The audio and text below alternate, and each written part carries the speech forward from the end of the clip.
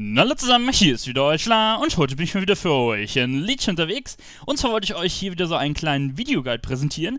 Heute geht es nämlich um die 7.2 Tank Challenge The High Lord Returns. Und was wir für die alles machen müssen, will ich euch gleich zeigen. Aber vorab jetzt erstmal reingeworfen, ja, ich habe das Ganze geschafft. Deswegen habe ich auch diesen tollen neuen Bären-Skin, den man dadurch erhält.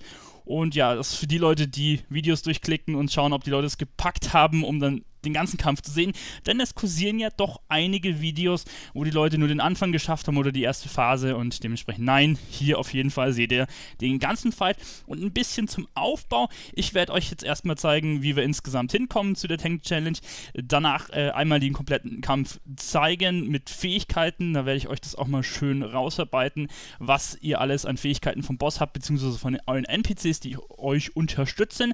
Und danach gehe ich mal ein bisschen spezieller auf den Druid ein, weil der erste Teil wird für alle Klassen sein, denn die Tank Challenge ist äh, ja bei allen Tank-Klassen dieselbe.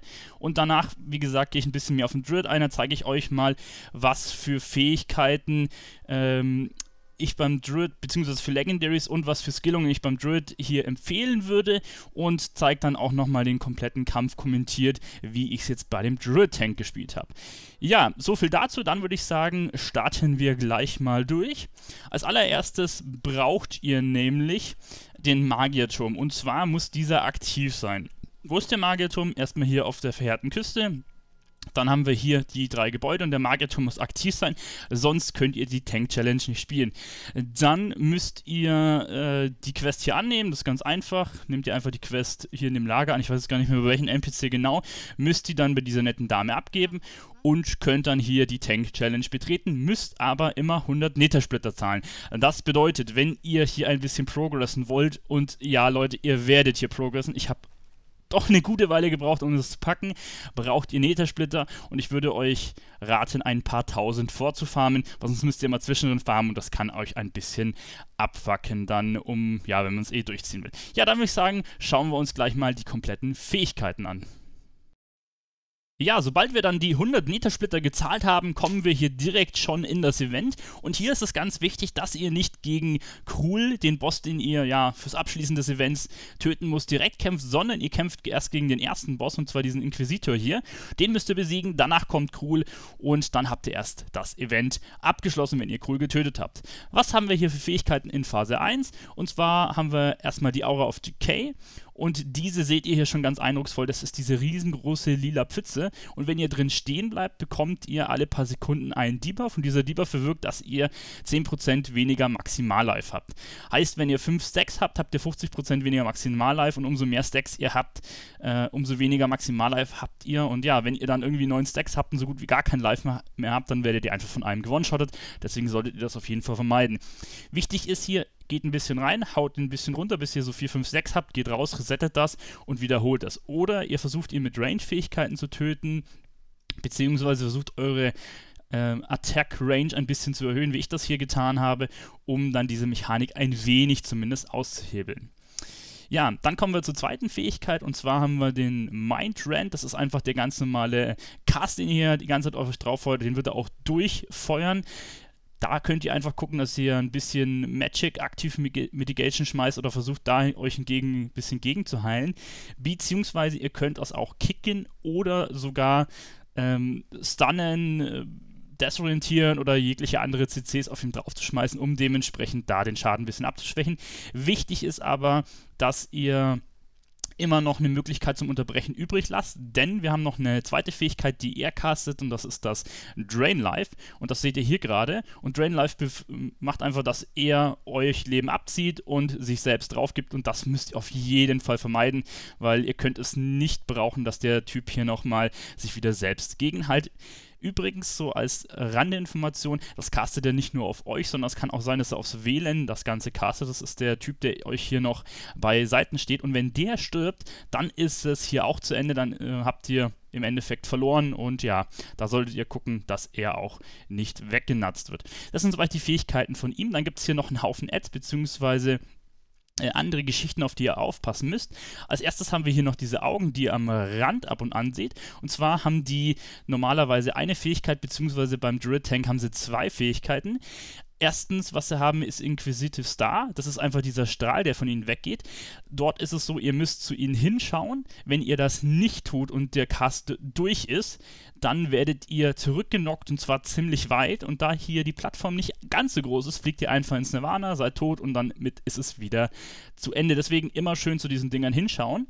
Die zweite Fähigkeit, die aber nur bei Druid-Tanks der Fall ist, bei allen anderen Tanks nicht, ist Tormenting Eye. Das verursacht einfach, dass ihr diese Augen nicht mit Melee-Hits hauen könnt, sondern nur mit Magic-Schaden. Und da wir als Druid nur das Mondfeuer als Magic-Schaden haben, haben wir da die Problematik, dass wir sie nur über Mondfeuer töten können. Und da bekanntlich Mondfeuer nie so viel Schaden macht, dauert das ewig. Also müsst ihr mal ein bisschen gucken dass ihr die mit Mondfeuer beschießt, diese Augen, und euch im richtigen Moment immer wegdreht. Ja, wie ihr seht, wären wir jetzt grundsätzlich schon in der zweiten Phase, aber wir müssen nochmal zurück in die erste springen, denn wir haben hier noch ein paar Fähigkeiten offen und zwar unter anderem zwei Ads. Einmal haben wir hier die Höllenbestien und die haben auch zwei Fähigkeiten, einmal Fell Resonation und diese verursacht einfach, dass sie diesen ja, grünen Kreis um sich rumkasten. Es verursacht minimalst Schaden, also da müsst ihr euch echt keine großartigen Gedanken drüber machen, aber man sollte vielleicht die Mechanik davon ein wenig kennen und zwar durch diesen ähm, Cast, den sie wirken, ist es so, dass ihr Live verlieren. Und zwar 10% von ihrem Maximal-Life verlieren sie durch diesen Cast. Und das ist vielleicht ganz interessant zu wissen, denn das machen sie bis sie auf 20% live sind. Und dann ähm, dementsprechend kriegen sie mehr Melee-Schaden. Also sprich, dann könnt ihr sie runterklopfen, denn die haben doch einen relativ hohen Live-Pool. Und einfach sie zu versuchen wegzuklopfen am Anfang macht keinen Sinn. Man muss sie ein Weilchen casten lassen und dann am besten umhauen. Ja, das zweite, was sie haben, ist der Smash. Und zwar war das, was ihr vorhin gerade gesehen habt, dieser, ähm, ja, dieser dieser, dieses braune Zeug am Boden, wenn ihr da nämlich drin steht, kicken sie euch in die Richtung weg und das wollt ihr hier auf jeden Fall vermeiden. Denn, wie auch schon bei den Augen, ist hier die Plattform relativ klein und wenn ihr nach hinten gekickt werdet, kann es oftmals passieren, dass er einfach von der Plattform fliegt. Da seht ihr es wieder, das ist dieser Hit nach vorne mit diesem braunen Zeug auf dem Boden und da dürft ihr auf keinen Fall drinstehen. Wenn ihr bisschen das gespielt habt, könnt, habt, da kriegt ihr so ein bisschen ein Gefühl für, wann ihr euch vielleicht auch kicken könnt und wann ihr euch mit den Augen dann hin und her kicken könnt, aber das ist dann eher schon ähm, das erweiterte Spiel. Ja, was wir dann noch haben, sind, ein, sind eine zweite Ad-Gruppe und zwar sind das diese Nete-Horror und die spawnen immer hier aus den Portalen. Also sprich, wenn die Portale aufgehen, dann kündigen sich diese Nete-Horror schon an und die laufen eigentlich immer erstmal zu wählen. Er sollte die aber einsammeln, denn Wählen sollen nicht sterben. Und äh, die Cleaven, die haben zwei Fähigkeiten. Südtalon heißt das erste, da kriegt ihr einen Debuff drauf. Für jeden Hit, den ihr von ihnen kriegt, kriegt ihr 10% mehr ähm, Damage durch, ich glaube, Arkan-Damage ist es.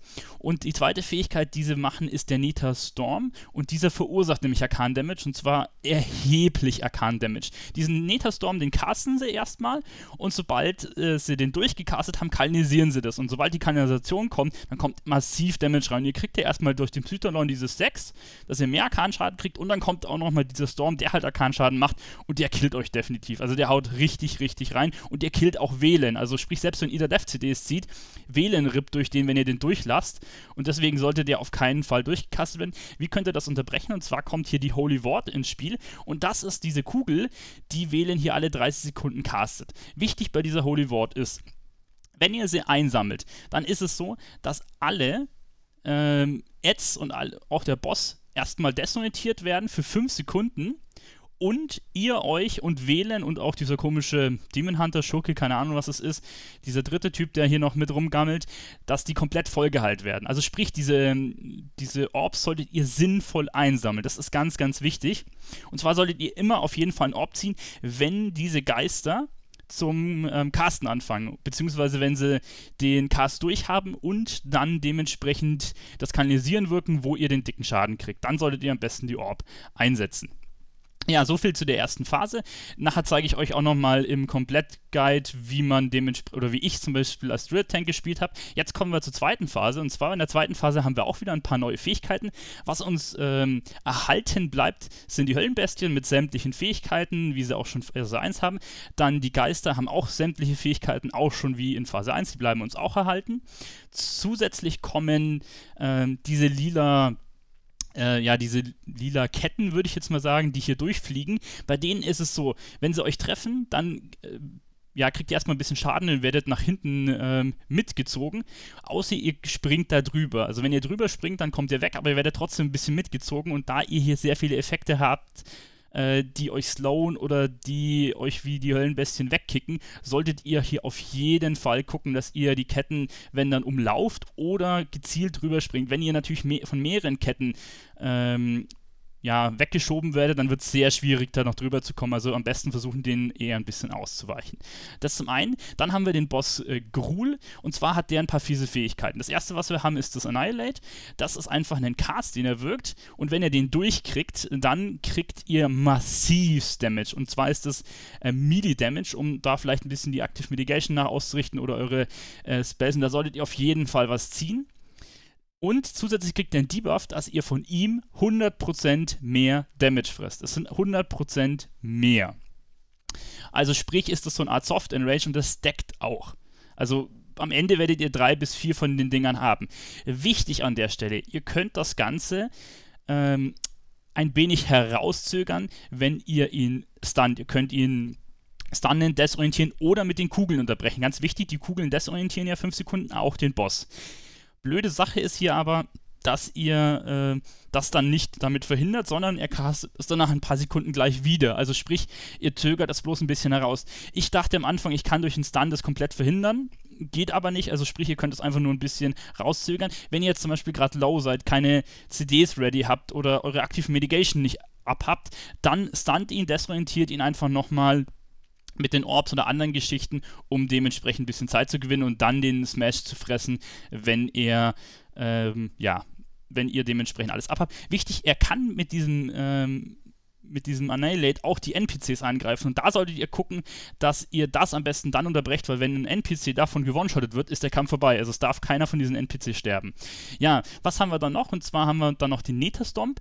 Er äh, flackert ein bisschen mit den Flügeln, da kündigt er es an. Ehrlich gesagt, ich war in dem Kampf immer so abgelenkt, dass ich das nicht gesehen habe, dass er mit den Flügeln da geschlagen hat. Aber er, er flattert ein bisschen mit den Flügeln und springt dann auf eure Position, hinterlässt dann da eine große lila Pfütze, die ihr auch äh, äh, öfter auf dem Boden, nicht lila Pfütze, eine grüne Pfütze. Und da kriegt ihr erstmal durch den Sprung schon mal einen Haufen, ich glaube Feuerschaden, das ist auf jeden Fall Magic-Schaden. Und wenn ihr in der Pfütze drin seid, kriegt ihr massiv Magic-Schaden Magic und ihr werdet geslowed wie nochmal was. Am besten könnt ihr das ein wenig umgehen, indem ihr ständig so ein bisschen am Moven seid und auch auf den Boss ein bisschen aufpasst, wann er hier mit seinen Flügeln ein bisschen schlagt und da auf jeden Fall ausweicht, weil das haut richtig, richtig, richtig böse rein. Dann haben wir noch äh, Twisting Reflection. Das ist eine ganz fiese Sache. Das müsst ihr auf jeden Fall äh, countern, also unterbrechen. Wenn das nämlich durchkommt, haltet es sich um 5% und gibt euch einen Debuff drauf, dass ihr ähm, ja, bei jedem Hit, den ihr fresst, den Boss um 5% halt. Und ihr seht ja, am Anfang hat er nur irgendwie 30, 40% von seinem Life. Und wenn er sich damit hochhält, dann hält er sich gleich mal auf 50, 60, 70, 80, 100 Millionen hoch. Und dann kriegt ihr den Typen nicht mehr tot, da ihr diesen Soft Enrage durch das Annihilate habt. Und ihr, ihr, werdet kein Land mehr sehen. Also wenn das durchkommt, ist es ganz beschissen. Was vielleicht noch geht, wenn es durchkommt und ihr danach gleich in eine Kugel reinlauft. Denn die Kugel stunt nicht oder desorientiert nicht nur die Ads und heilt euch, sondern es nimmt auch die Magic-Effekte runter. Es nimmt euch alles runter, außer Annihilate, das bleibt drauf, das wäre sonst ein bisschen zu einfach. Ja, soweit zu den Fähigkeiten. Wichtig ist, wie gesagt, ihr müsst die Kugeln ein wenig sinnvoll einsetzen. Diese spawnen nämlich auch. Und zwar alle 30 Sekunden spawnt zwar eine Kugel, aber die das spawnen auch nach einem ähm, gewissen Rhythmus. Und zwar können, so wie ich es gesehen habe, waren bei mir nie drei Kugeln gleichzeitig ab. Das heißt, die erste Kugel spawnt, nach drei Sekunden spawnt die nächste Kugel. Und dann, bevor die dritte spawnen würde, ähm, das spawnt die erste. Also sprich, wenn ihr ewig Kugeln saved, das funktioniert nicht. Und ihr müsst dann immer die ältere Kugel nehmen. Also sprich, müsst ihr auch noch so ein bisschen ein Auge drauf haben. Ähm, dass ihr immer die ältere Kugel nimmt, weil wenn ihr jetzt die neue Kugel nimmt, dann kommt die dritte Kugel, dann spawnt die erste, dann habt ihr trotzdem nur eine. Und manchmal ist es nämlich sinnvoll, ähm, sich ein bisschen die Kugeln zu safen, um bestimmte Mechaniken auszuhebeln, beziehungsweise um, wenn so ein bisschen als Backup, äh, wenn ein bisschen Scheiße passiert, dass ihr da die Kugeln noch habt, um euch nochmal hochzahlen oder die Gegner zu stunnen. Ja, so viel zu den Fähigkeiten an sich. Jetzt gehen wir mal auf die ähm, Druid-Geschichte ein, und zwar was ich so an Fähigkeiten gewählt habe, beziehungsweise was ich für Legendaries angelegt habe. Und danach zeige ich euch den Kampf nochmal ein bisschen kommentiert, wie ich es gespielt habe. Ja, dann kommen wir als erstes zu den Fähigkeiten bzw. Talenten, die ich hier geskillt habe. Und zwar als erstes habe ich die Blutraserei mitgenommen, einfach um ein bisschen mehr Wutregeneration zu haben.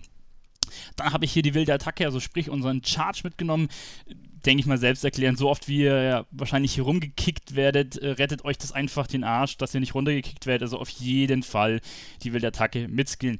Dann habe ich die Gleichgewichtsaffinität mitgenommen, um nochmal die extra Range zu haben. Werde ich aber gleich nochmal was im Gesamtbild zu sagen. Dann habe ich den mächtigen Hieb mitgenommen, um einfach nochmal den Boss oder die Bosse unterbrechen zu können, um ein bisschen Zeit zu gewinnen oder um den Schaden zu minimieren.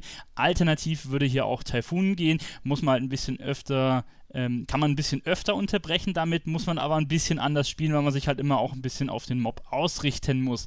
Dann habe ich die Inkarnation mitgenommen, weil ich halt den Hauptschaden hier über das Hauen verursache und dementsprechend das mit dem 30 Sekunden lang durchspammen kann.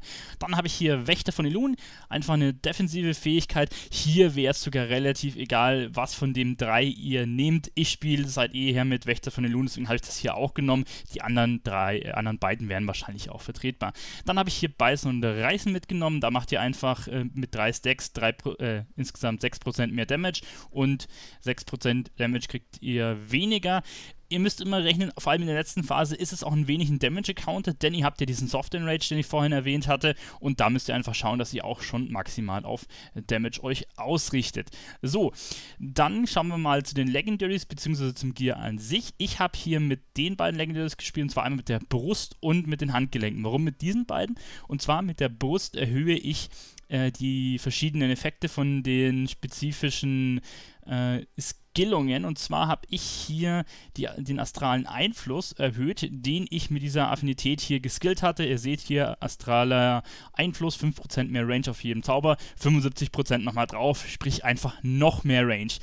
Und dann habe ich ja noch die Handgelenke, die auch die Range von Hauen neben dem Schaden um 25% erhöhen. Heißt, mit allen Erhöhungen bin ich bei Hauen auf 21 Meter Range um mich rum, also sprich 21 Meter in die Richtung und 21 Meter in die Richtung, was natürlich einen sehr großen Radius hier insgesamt ergibt und mir dann auch ermöglicht, äh, am Rand des Kreises zu stehen und trotzdem den Boss zu treffen wichtige Randinformation, bei allen anderen Klassen ist der Kreis wesentlich kleiner, beim Druid ist er sehr, sehr groß der Druid hat allgemein die meisten Restriktionen, die es negativ waren. Aber jetzt bleiben wir bei der Sache. Der Kreis ist auf jeden Fall relativ hoch und durch diese ganzen Erweiterungen können wir außerhalb stehen und können diese Mechanik so ein wenig umgehen. Zwar nicht ganz, aber zumindest in einem erheblichen Maße.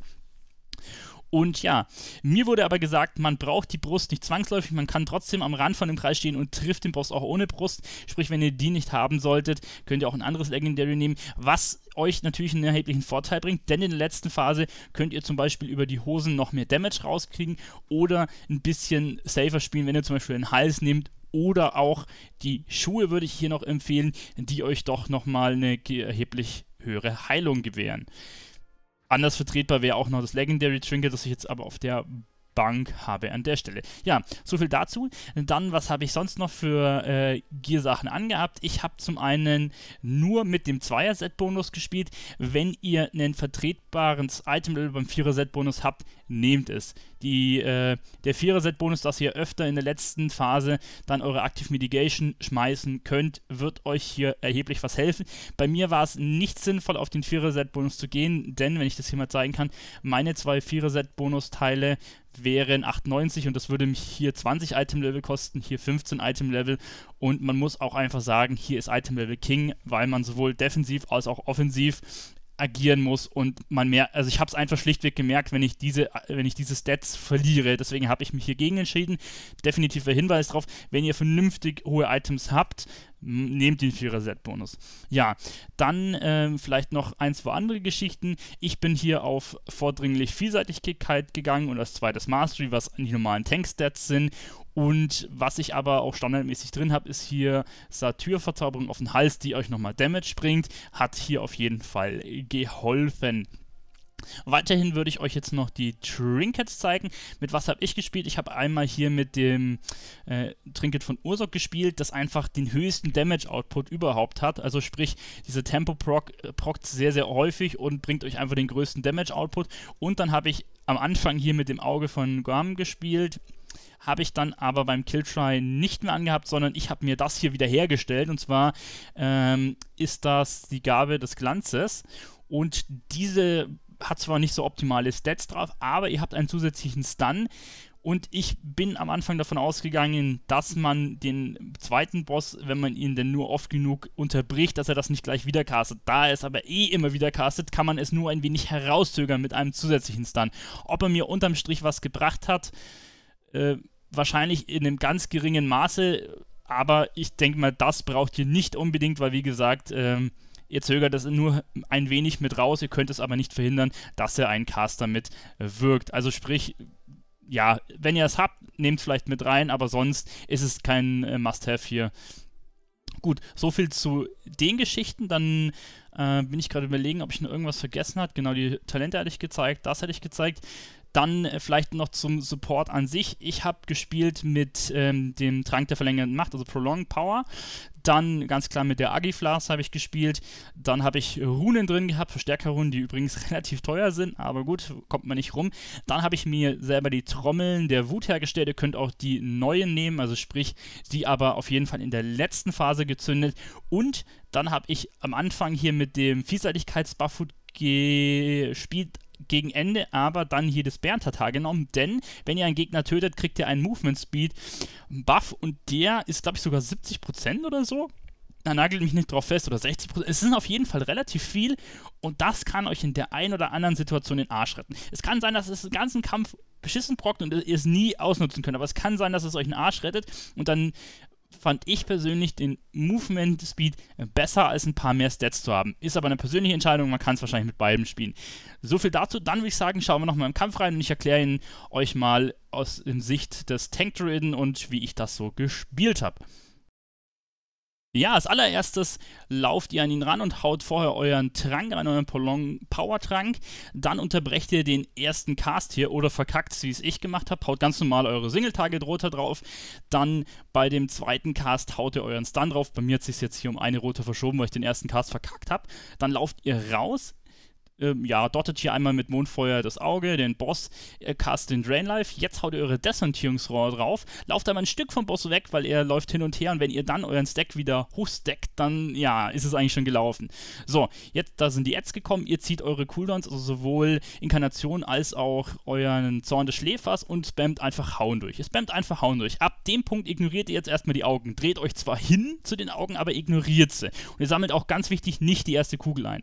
Dann macht ihr wieder Drain Life, da einmal hin, kurz countern und weg. So ein bisschen von, dem, von der Höllenbestie ausweichen, immer ein bisschen hin und her laufen und versuchen euch immer zu den Augen hinzudrehen. Da sind jetzt zwei an verschiedenen Orten gespawnt, ist ein bisschen suboptimal, kann man aber auch so wie ich managen, indem man sich schon mal die Flugbahn so ein bisschen ausrennt. Dann kommen hier die Ads.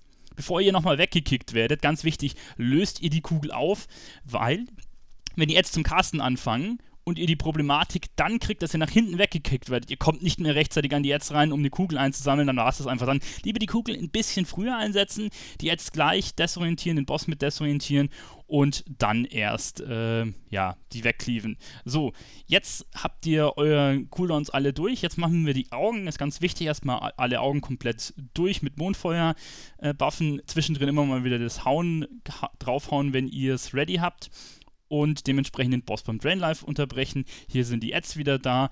Wieder schauen bis zum Casten ansetzen, dann wieder in das Auge rein, beziehungsweise in diese Orb rein, so unterbrechen und dann geht das Spielchen wieder von vorne los. Jetzt gehen wir wieder weiter die Augen machen, also sprich, nur am Anfang ziehen wir durch und jetzt machen wir aber immer schön die Augen mit und immer am besten alle Augen mit Mondfeuer durchfeuern, dass ihr nicht in die Bredouille kommt, ähm, mehrere Augen von verschiedenen Richtungen zu haben, die euch dann dementsprechend äh, ins Nirvana kicken. Und versucht auch ein bisschen von diesen Höllenbestien wegzulaufen, weil wenn ihr euch mit den Augen ausrichten müsst und dann gleichzeitig noch aus dem AE von den Höllenbestien rauslaufen, ist nicht gerade so einfach. Deswegen sollte man dahingehend ein wenig schauen, dass man so ein bisschen von diesen Höllenbestien wegkommt.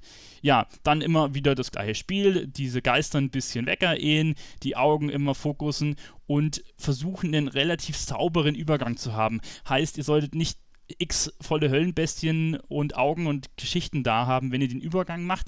Was vielleicht so ein kleiner Hinweis ist, irgendeinen Mob solltet ihr beim Übergang noch haben, denn ich hatte öfter mal den Bug, wenn alles äh, down war und der Boss auch stirbt, dass ich dann teilweise die Problematik habe, dass er verschwunden ist. Also sprich, dass er einfach der zweite Boss despawned ist und das solltet ihr am besten vermeiden. Ja, dann habt ihr nochmal gesehen, Drain Life Caster, da vielleicht auch ein bisschen drauf achten, dann normalerweise möglichst lang mit den Geistern warten, bis ihr das Auge aktiviert, aber wenn er natürlich das Rain Life castet, dann ein bisschen früher. So, jetzt wird es interessant, der zweite Boss kommt. Wir versuchen hier möglichst zwei von den Orbs ähm, mit in die zweite Phase zu sehen. Ihr solltet euch ein bisschen merken, welche von diesen beiden Orbs die erste ist, die gespawnt ist. Und hier seht ihr gleich, er hat seinen ähm, Cast Annihilate gecastet und den habe ich gleich mal unterbrochen, denn ich bin ganz low und jetzt castet er hier seine Heilung, das habe ich mit der Orb unterbrochen, was jetzt schlecht ist, weil die Ads außen desorientiert sind. Meistens fangen sie dann direkt den Cast an und man rippt dadurch. Deswegen solltet ihr möglichst das nicht versuchen. Es ging jetzt in dem Moment nicht anders, sonst hätte die Heilung durchgekriegt und das ist wirklich der Worst Case, der passieren kann.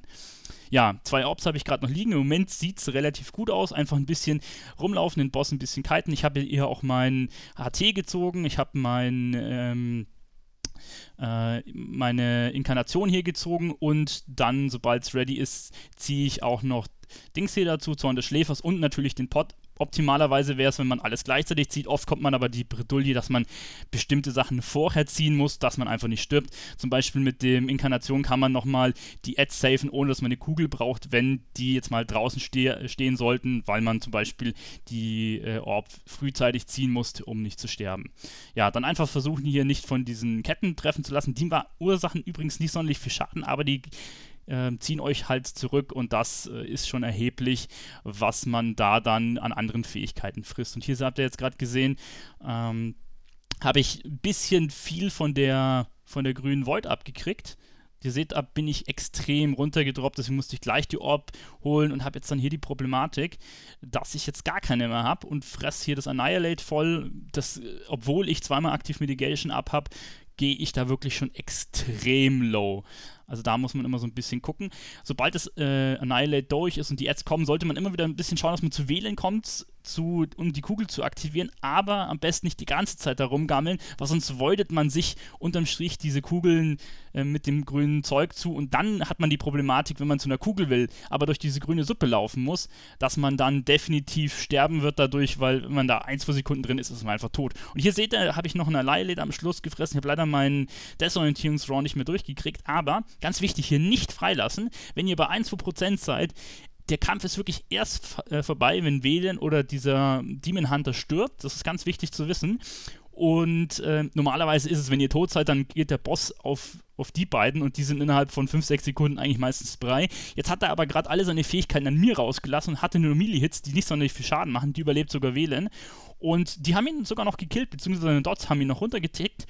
Und ich habe dementsprechend den Kampf abgeschlossen. War verdammt knapp und man könnte behaupten, dass Wählen ihn getötet hat und nicht ich, aber das ist nur, nur gerüchteweise. Ich habe ihn natürlich äh, nur aus eigener Macht umgebracht. Ja, damit wären wir auch schon wieder am Ende von dem Ganzen. Ich hoffe, ich konnte euch so ein bisschen bisschen nahelegen bzw. zeigen, wie das Ganze funktioniert.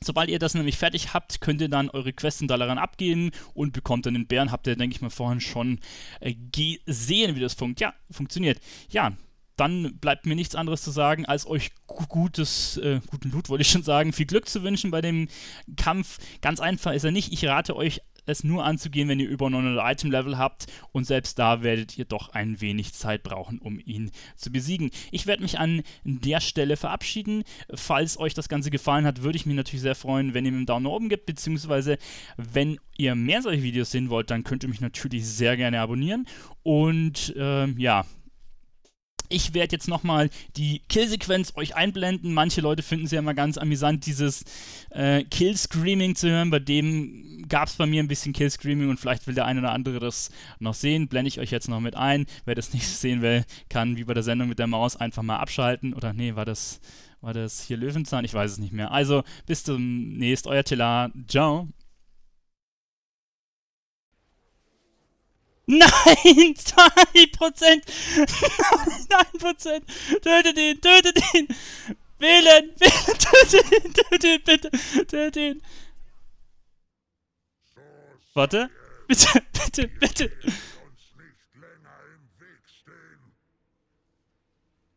Hat das jetzt, klappt das jetzt? Bitte, bitte, bitte! Leute, ich werde religiös, wenn das jetzt klappt. Mach keinen Scheiß, mach keinen Scheiß wählen. Mach keinen Scheiß jetzt. Yes, ich hab's, Guys! Ich hab den Scheißdreck! Yes! yes! So ein Scheiß! Okay. Fuck! Fuck my life! Das waren jetzt zu viele Stunden.